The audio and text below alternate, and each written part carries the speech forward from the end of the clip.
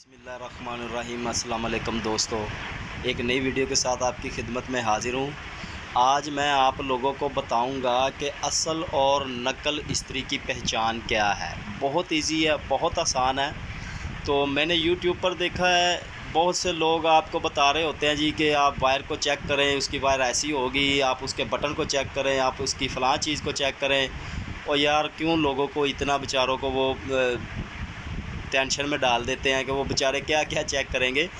तो आपको मैं आज बताऊँगा इस्त्री असल और नकल चेक करने का बहुत ही आसान सा हल और आसान सा तरीका है। कोई रॉकेट साइंस नहीं है ये। बहुत इजी तरीका है इसको असल, अपना जापानी और मलेशिया की स्त्री की पहचान करने का। तो देखें, ये एक मेरे पास स्त्री है, ये मैं आपको दिखा रहा हूँ। अनबॉक्स करके ये देखें कि ये स्त्री है, ठीक है, ये बिल्कुल न्यू स्त्री है। तो ये मैं खोल रहा हूँ, ठीक है। तो इसमें आप ये देख सकते हैं कि कोई वारंटी, कोई ऐसी वैसी चीज़ नहीं लिखी हुई है। बस डिब्बा है ये, डिब्बे के साथ ही ऊपर इसकी इंस्ट्रक्शन दी हुई है कि इस्त्री को कैसे इस्तेमाल करना है और क्या क्या इसमें फ़ीचर हैं। ये सब कुछ लिखा हुआ है। तो इसको मैं ओपन करता हूँ और ये इस्त्री को हम बाहर निकालते हैं। तो बात कर रहे हैं जी कि इस्त्री की पहचान की, ठीक है। तो आपको कैसे पता चलेगा कि यार ये इस्त्री मयारी है, जापानी है या मलेशिया की है। वैसे तो जो मलेशिया की स्त्री है, वो भी तकरीबन चलने पर आए तो बहुत अरसा चल जाती है, ठीक है। जापानी स्त्री से ये थोड़ी सस्ती होती है, मलेशिया की स्त्री। तो जापानी जो स्त्री है, वो ज़ाहरी बात है, थोड़ी महँगी है, लेकिन वो मैार में भी ज़रा अच्छी है और उसकी लाइफ भी ज़्यादा अच्छी होती है, मलेशिया की स्त्री की नस्बत से। तो ये इस वक्त मैं आपको दिखा रहा हूँ, ये आप स्त्री देख रहे हैं, ये स्त्री जो है ये मलेशिया की स्त्री है, ठीक है?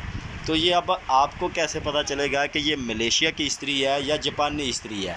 तो आपको ये चीज़ें देखने की ज़रूरत नहीं है जी कि ये देखें जी, इसकी तार मोटी है, बरीक है, अच्छी है कैसी है ये इसका स्विच कैसा है? तो ये चीज़ें के साथ आप टाइम ज़ाया मत कीजिएगा। तो अलबत् जो देखने और पहचानने वाली चीज़ है ना, वो मैं आपको बता देता हूँ कि वो क्या होती है। ये आप गौर करें, ये देखें, ये स्त्री की कवर है। कोई कहेगा जी कि आपका ये प्लास्टिक बहुत अच्छा होगा, जापानी स्त्री का। तो ये चीज़ें आप चेक करें, फ़लाँ चीज़ें चेक करें। तो जो आपने चीज़ चेक करनी है ना, ये तो है जी इसकी प्लेट। और चेक करने वाली जो चीज़ है ना, ये आप ज़रा गौर कीजिएगा। अगर आपको नज़र नहीं आ रहा तो मैं इसकी एक आपको वाजे थोड़ा सा दिखाने की कोशिश करता हूँ। ये अब आप ज़रा गौर कीजिएगा कि स्त्री के ऊपर मेंशन किया हुआ है कि मेड इन मलेशिया, यानी कि ये स्त्री मलेशिया की बनी हुई है, ठीक है? तो कोई भी चीज़ जो है ना, वो किसी भी कंपनी को ऐसे नहीं वो लिख सकते जी कि मेड इन जापान है वो मलेशिया की।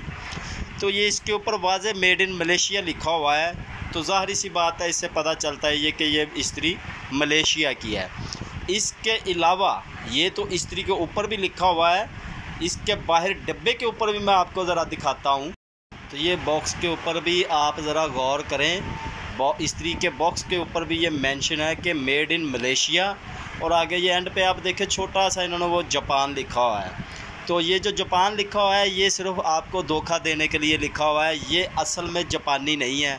ये मेड इन मलेशिया है। जब उसके ऊपर लिखा गया है कि मेड इन मलेशिया तो वो जापानी इस्त्री नहीं है, आप समझ जाएँ कि ये मेड इन मलेशिया है। लेकिन बहुत से दुकानदार कहें कि जनाब, ये जापानी है, जापान की है। जब लिखा हुआ है ऊपर मेड इन मलेशिया तो जापानी इस्त्री के साथ इसका कोई लिंक नहीं है।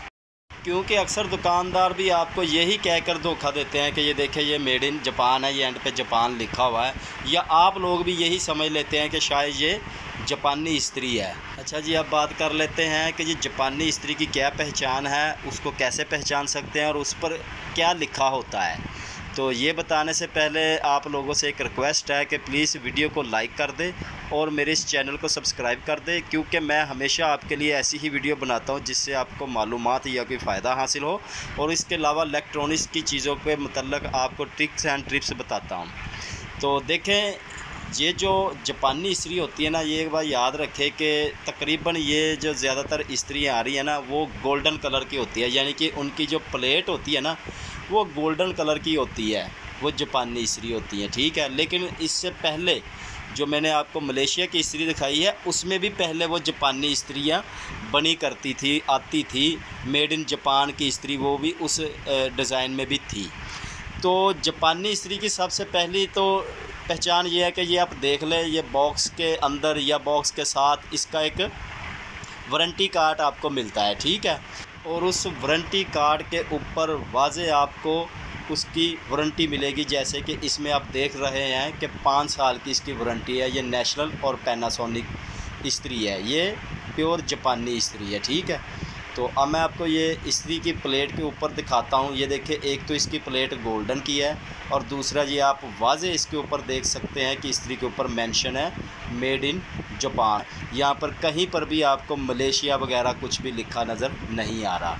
तो इसमें एक और डिज़ाइन में भी इस्त्री आती है। वो है तो गोल्डन कलर की ही होती है वो भी, लेकिन उसकी जो वायर है ना, ये वाली, ये साइड पर नहीं होती, ठीक है? या इसकी वायर तो आप देख रहे हैं ना, ये साइड पे है। लेकिन उसमें एक जो वायर है ना, इसकी वो ऊपर हैंडल के ऊपर लगी होती है। मैं आपको दूसरी तरफ़ ये आप तस्वीर में देख सकते हैं। ये भी जापानी स्त्री है, यानी कि मेड इन जापान स्त्री है।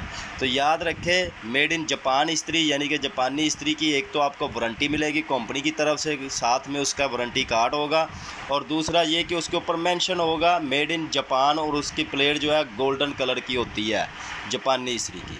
मेरे ख्याल से आपको समझ लग गई होगी। अगर आपको मेरी वीडियो अच्छी लगी हो या आपको मेरी वीडियो से कोई मालूम मिली हो तो काइंडली मेरी वीडियो को लाइक कर दें और चैनल को सब्सक्राइब कर दें। मिलते हैं किसी और अच्छी सी वीडियो में, तब तक के लिए खुदा हाफिज़।